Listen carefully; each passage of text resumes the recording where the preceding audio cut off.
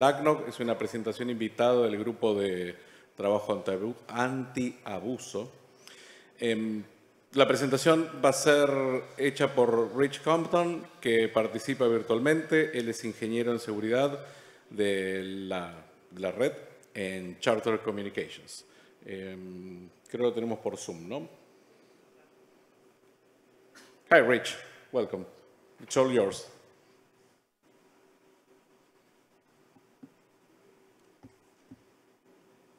¿Me escucha? Hola. Um, so I need to uh, share my, my screen. Thank you. Um, I'm getting, I s- I suppose, uh, disabled uh, participant screen share.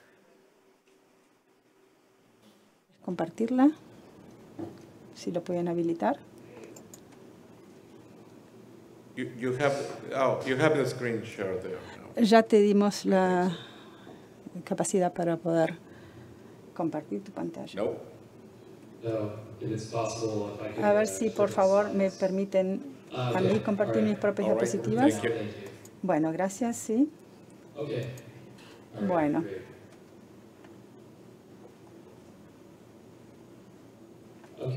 uh, Yo soy Uh, Rich Compton, soy ingeniero de redes. Para Chartered Communications. Um, Y además, um, uh, soy presidente del grupo de intereses especiales de el grupo MOC de dos de intereses, especia- intereses especiales. Tengo una presentación aquí en la cual trataremos distintos temas, tres tipos de ataques de dos. En realidad hay tres tipos de ataques de dos. Tenemos los que son en la capa de aplicaciones, donde el atacante eh, sobrecarga una aplicación como que inunda el tráfico de GET y también están los de State Exhaustion donde el atacante, el atacante eh, inunda un dispositivo. SynFlood es un ejemplo de este tipo de ataques y luego tenemos los ataques volumétricos y es a estos que me voy a estar refiriendo y es ahí donde el ataque está abrumando la red, está sobrecargando la red. Y es donde el atacante genera eh, 100 gigabits de UDP e inunda el tráfico. Y las flechas que vemos aquí a la derecha es que los ataques en la capa de aplicaciones generan menos tráfico en la red y van más bien a la parte inferior del volumétrico y entonces es muy fácil larga- lanzar estos y resulta más difícil para que la capa de aplicación. Y hay dos tipos de ataques de dos volumétricos. Están los que se generan directamente a la víctima, donde se inunda a partir de un botnet. Y el otro tipo de ataque, en el cual me estaré concentrando, es el ataque en el tráfico que viene de la IP fuente de spoof hacia la víctima. Y un ataque muy típico de este ataque es el que se llama NTP Moonless Flood. Así que?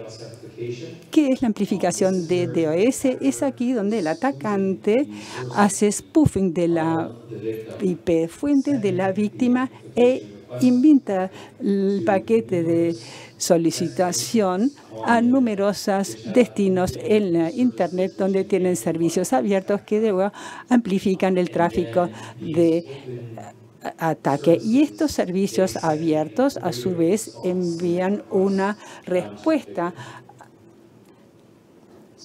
Entonces, los tipos más comunes de ataques de amplificación UDP que nosotros vemos, en primer lugar, el más común es el de DNS, y es aquí donde el atacante normalmente está haciendo un texto, un- una consulta con TXT o una consulta ENI, y en el puerto 53 de UDP, NTP es el segundo más común. En este caso tenemos un comando monlist que devuelve Creo que son los últimos 200 IPs que se conectaron a ese servidor NTP y cada paquete tiene seis direcciones IP. Entonces luego también se puede hacer una consulta de versión. Y muchos de los servidores en Internet Mondes es tal vez el más común, pero hay millones de dispositivos que son sensibles, vulnerables a este tipo de ataque de amplificación. Luego tenemos el WS Discovery en el puerto UDP 3702, LDAP en el puerto 389 de UDP y luego tenemos Apple Remote Desktop o Apple Remote Management, que creo que es algo que también se llama ARM y ese se encuentra en UDP, en el puerto UDP 3283. También vemos muchos casos de MDNS, multicast DNS, y este debería ser solo una red local. Pero existen muchos dispositivos vulnerables que también responderán no al tráfico multicast, pero también responden a este tipo. Y también tenemos Ubiquiti, es el puerto UDP 10001, es uno que es bastante común. Luego tenemos Plex, los Plex, los servidores de medios Plex son los que están en UDP, el puerto 324 414, que esto resulta bastante común. Asimismo, tenemos la amplificación de TCP. Hemos visto un aumento importante en la amplificación de TCP en este tipo de ataques en los últimos 30 años más o menos, de manera que tenemos amplificación sin AC, luego amplificadores push y los datos se envían antes de que termine el handshake de tres vías y los banners FTP también son los que van a amplificar el tráfico y luego también tenemos amplificación del reset. Así que en este tipo de ataques, digamos, si un atacante está haciendo spoofing en un SIN, el servidor tiene que devolver el SIN ACK a la víctima. Pero si no hay un ACK, si no se envía un ACK, generalmente algunos de estos servidores, en vez de solo enviar dos o tres SIN ACKs, van a enviar tal vez 50 o 100 sin AX. Y lo mismo pasa con, y lo mismo los resets y es donde empieza a tallar el factor de amplificación. A medida que uno aprende de esto, este factor de amplificación lo descubrió un profesor de una universidad alemana, Christian Rousseau, y su trabajo está allí se llama Hell of a Handshake. En ese trabajo, este profesor alemán da detalles de la cantidad de dispositivos que hay por allí, que es el factor de amplificación de todo esto y desgraciadamente los atacantes en este momento están utilizando esto como un método de amplificación de los ataques. Luego tenemos un nuevo tipo de ataque que hemos visto en el correr del último año, año y medio. Se trata de la amplificación eh, Middlebox TCP. Ah, he oído gente que dice que en vez de llamarse TCP Middlebox se debería llamar HTTP, HTTP uh, Middlebox Amplification. En este ataque hay como una caja intermedia. Aquí lo tienen. En este, ven, este es este esquema. Este es un trabajo. Los investigadores descubrieron esta vulnerabilidad, de manera que el atacante está haciendo lo mismo. Eh, eh, está viendo la IP de, ese, eh, de la víctima y está enviando el tráfico a un servidor, pero no es el servidor el que hace la amplificación, sino que es una caja en el medio que es como un intermediario. Y esto puede ser un firewall, puede ser un IDS o algo así. Ah, el gran ah, firewall de China, el cortafuego de China, es vulnerable a esto. Y estas son, ah, aquí se buscan cosas específicas en el paquete. En este ejemplo de aquí, y lo vamos a ver, vamos a ver que eh, el atacante lo que está haciendo es poner un HTTP GET para, en algunas páginas de pornografía. Y esa caja intermedia se supone que bloquee ese tráfico, pero lo que realmente debería estar haciendo esa caja intermediaria es estar buscando eh, ah, eh, eh, se empieza a rechazar los paquetes, de manera que muchas veces los atacantes están enviando una TCP SYN con este payload y la caja intermedia entonces responde con un mensaje que dice que está bloqueado y que no puede entrar en esa página y en, en, general es allí donde empieza a funcionar el factor de amplificación y en vez de volver al atacante como está haciendo spoofing, el tráfico de ataque le va a la víctima. Entonces, una manera en que se puede solucionar esto es buscando el handshake inicial, de manera que esto se puede utilizar. Esto se comenzó a utilizar como un arma de ataque eh, hace relativamente poco tiempo y allí tienen ustedes el link a el trabajo que dice qué es el factor de amplificación, cuáles son los dispositivos, etcétera. Entonces, ¿por qué estos ataques son un problema tan grande?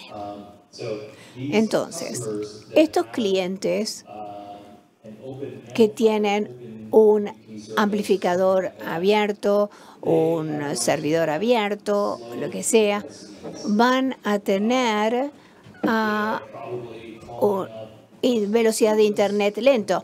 Llaman a atención a clientes, se quejan de que la Internet les funciona despacio. Que, y se quejan, le dice, ustedes son un ISP malo, me están dando malos servicios. Y probablemente la gente del ISP trate de arreglar el problema, incluso pueden llegar a enviar un técnico a la casa del cliente. O sea que estos ataques también están consumiendo ancho de banda, eh, corrientes arriba y en general el, el ancho de banda de corrientes arriba es más bajo que el de corrientes abajo, de manera que eso provoca problemas y puede afectar a otros clientes que están en ese mismo eh, flujo de, de comunicaciones. También hay otros ISP, entonces esta amplificación del, tráfico va a también perjudicar a los otros y esos ISP van a empezar a quejarse, eh, generan quejas. Y también la víctima recibe todo ese tráfico y lo sacan de, funcionamiento y la infraestructura de la red se puede ver afectada y los otros clientes en esa red también se pueden ver afectados igualmente. Entonces, yo he oído esta pregunta. Podríamos simplemente hacer que la gente arregle todos sus dispositivos, pero desgraciadamente eso es una tarea muy difícil. Entonces, número uno, uno nunca puede lograr que todo el mundo arregle todos sus dispositivos. Habitualmente lo que pasa es que habitualmente hay un 60 o 70%, si uno se pone en contacto con ellos, hay gente que eh, hace algo para arreglarlo y otros no hacen nada. Otro tema es que aún si nosotros arregláramos el 99% de estos servidores abiertos en la eh, Internet, aún así ese 1% alcanza como para seguir creando ataques de DOS. Damian Mensher de Google hizo una presentación en Nanoc y eh, allí tienen el link a esa presentación y él planteaba eso que tratar de concentrarse en encarar todos los servidores vulnerables es una locura. Es imposible. Nunca lo lograríamos. Y Demian también destaca que hay dispositivos que se, que se están agregando a la, a la red todos los días. continuamente. Pero algo que sí podemos hacer es buscar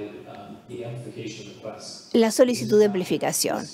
Este tráfico se le hace spoofing. Eso quiere decir que el atacante ha logrado enviar paquetes con la IP fuente de origen que no es la verdadera IP de origen. Está utilizando la IP de, de la víctima. De manera que aquí hay algunas características de tráfico que de, esta, de este tráfico de amplificación de DOS que yo he visto. Si ustedes quieren buscar este tráfico en su red, probablemente la manera más fácil de buscarlo es buscar tráfico del puerto de origen 80 o 443 y los puertos de destino y ah, que es un amplificador. Imagínense entonces que el, uh, el eh, lo que viene de puerto 80 eh, o el 443 es inválido y si es 80 o 443 definitivamente se trata de un tráfico malo. Esa es una manera fácil de identificarlo. Realmente no debería haber falsos positivos porque esto es tráfico inválido. Este es un filtro de pickup donde que, puede ir a Whiteshark o TCP y también puede crear una lista de acceso de, para login para buscar este tráfico. Aquí les muestra el puerto fuente de origen 80 o 443 y los protocolos que están por debajo de 1023 que se utilizan para la amplificación. Uh, Hay una organización que se llama Shadow Server, como el servidor sombra. Se trata de una organización sin fines de lucro que hace barridos en la Internet buscando estos servidores vulnerables. Y ellos dan un informe, hacen un informe gratis diario para todos los que trabajan en la ISP Básicamente, si ustedes están controlando un sistema autónomo, entonces pueden recibir este informe gratis. Antes mandaban correos electrónicos, yo creo que ahora solamente les puede dar el informe a través de su API.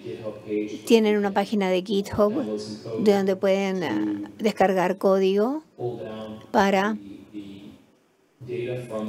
obtener los datos de su API también yo tengo eh, código en mi página de GitHub.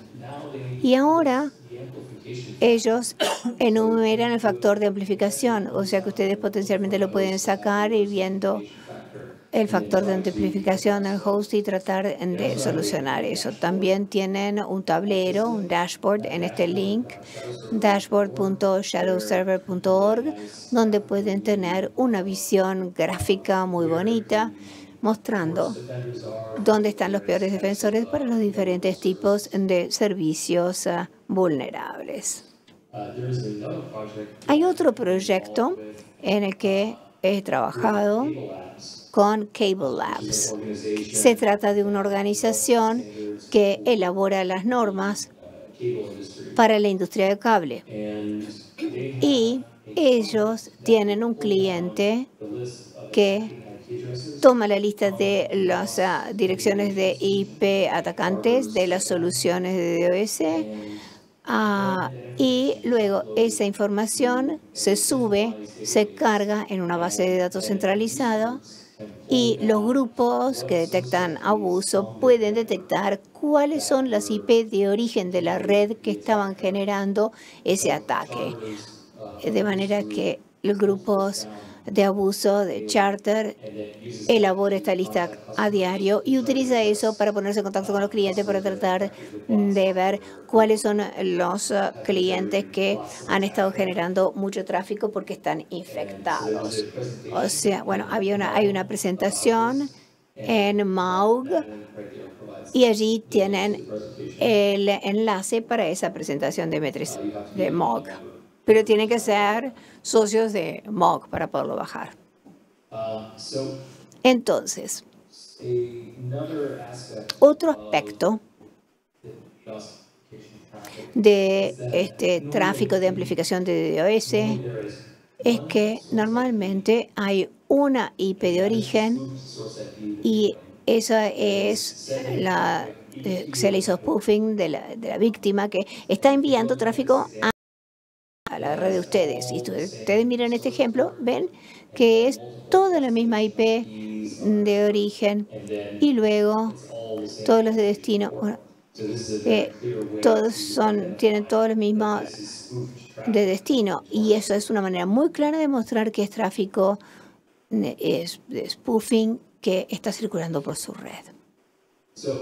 Entonces, yo desarrollé una solución de código abierto, la llamo Tattletale, está en mi página de GitHub, este es el link, y utiliza la pila ELK, quiere decir Elasticsearch, Logstash, Kibana y Firebit, recoge el flujo de red y específicamente el tráfico de amplificación de DDoS y yo utilizo la información, el InfoSharing y Shadow Server para detectar eso y todo lo que parece eh, amplificación de tráfico lo elimino y solamente almaceno la amplificación de DDoS en la base de datos. Entonces, como se trata de un NetFlow, tiene una interfaz,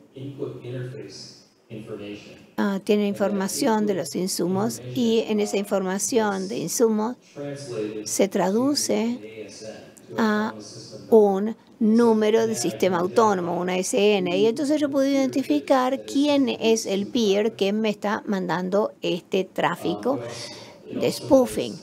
¿Qué más hace? También extrae los falsos positivos de los escáneres conocidamente como bueno, Shadow Server, Arbor, Cyber Green, etc.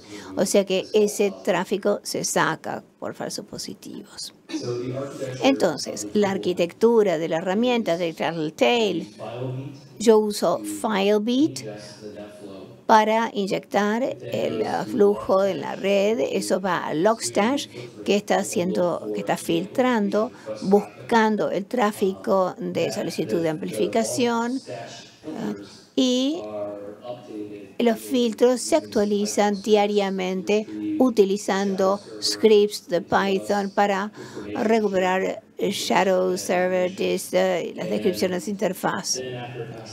Y luego esto pasa por Logstash, los datos se pasan a la base de datos Elastic y luego Kibana se utiliza como el front-end para recuperar esta información. Veamos entonces, creo que voy a poder compartir esto. Aquí está en vivo. ¿Sí? Bueno, entonces aquí lo que tenemos es lo siguiente. Tenemos esta columna aquí, NetFlow, OpenUDP, y nos indica si Shadow Server logró identificar este destino en particular como que tenga un amplificador abierto.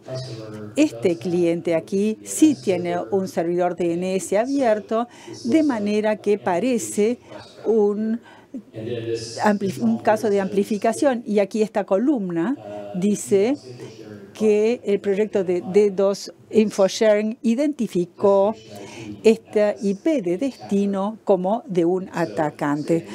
Entonces, en esta columna aquí tenemos this. El Shadow Server dice que es DNS abierto, OpenDNS, y el this dice que es un caso de abuso. Así que es a través de tráfico de amplificación.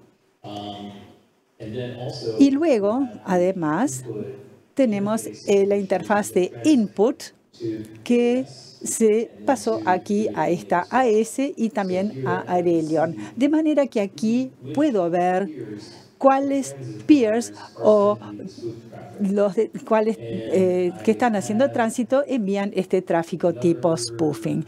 Luego tengo esta otra tabla aquí. Voy a tratar de ampliar la imagen. Voy a seleccionar los principales cinco. Aquí entonces podemos ver los principales cinco peers que me están enviando este tráfico con spoofing.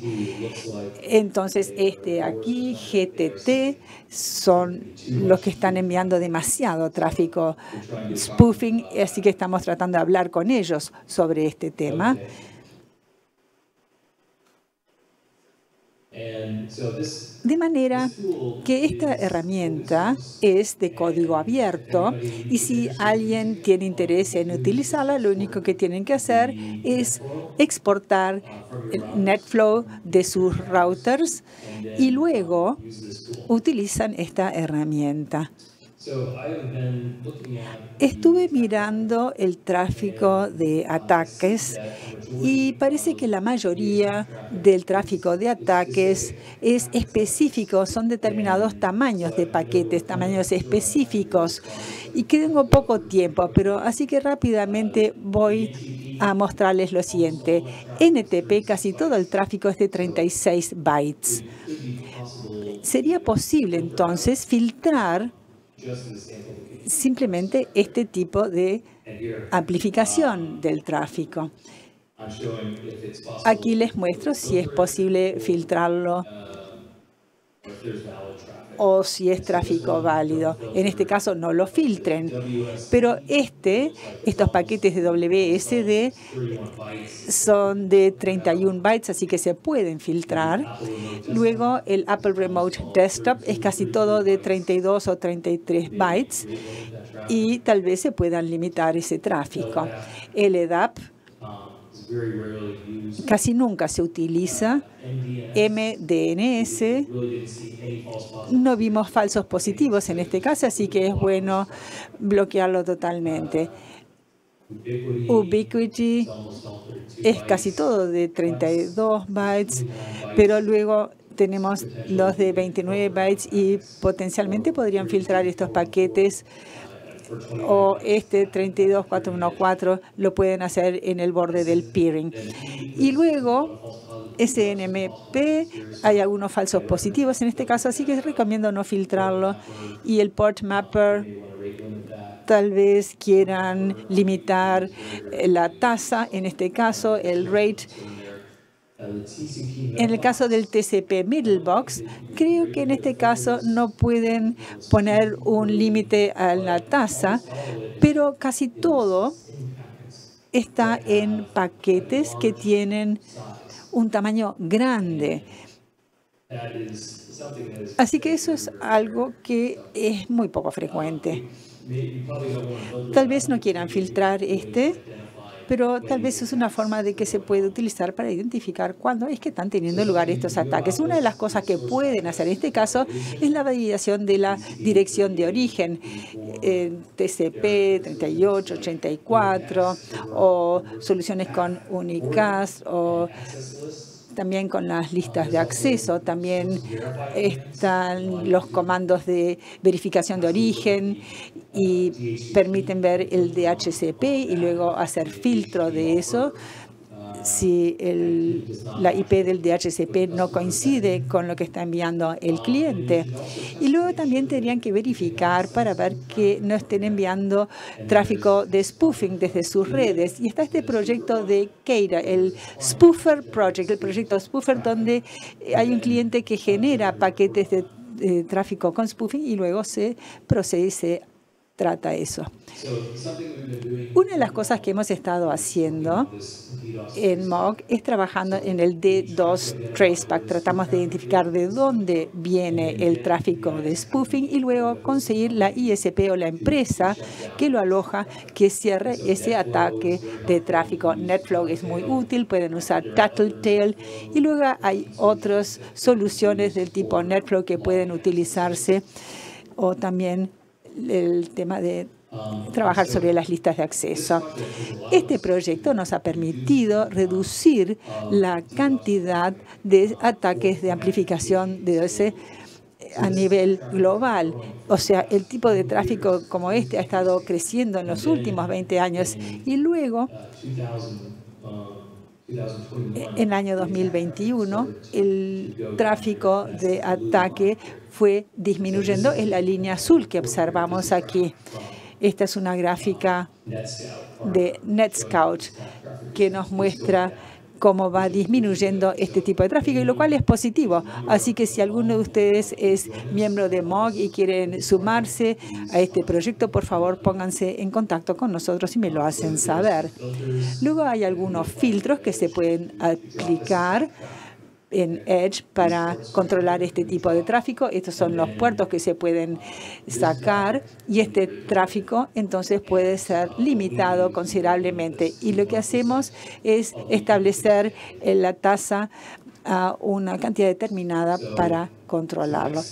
¿Cuáles son los próximos pasos? Bueno, tenemos que conseguir más ISPs y también intercambios de Internet para que busquen este tráfico que tiene spoofing y tenemos que alentar a otros que también limpien sus redes y que no permitan que haya este tráfico tipo spoofing. Luego hay otras cosas que estamos estudiando, por ejemplo, usando FlowSpec para aplicar un filtro a este tipo de tráfico. También se puede usar DPI en algunos paquetes para buscar el problema de amplificación.